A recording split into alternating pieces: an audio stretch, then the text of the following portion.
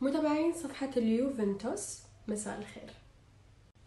بما أن المحلات رجعت فتحت في البحرين في بعض الأمور اللي خلتها آه، وزارة الصحة كأنها تعليمات لازم تلتزمون فيها وخاصة لأصحاب المحلات. مثلا منها أن أول ساعة تكون حق كبار السن والحوامل.